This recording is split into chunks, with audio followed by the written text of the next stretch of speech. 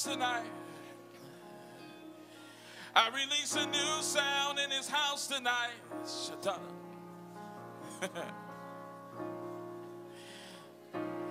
this is the sound of victory. This is the sound of victory, not defeat. This is the sound of victory. This is the sound